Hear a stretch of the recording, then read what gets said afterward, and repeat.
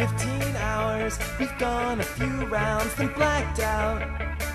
Not exactly by accident, but more like an intentional. So I'm making a mess out of my life. Yeah, intentionally avoiding the shifty eyes. And deep inside, they're not so shifty.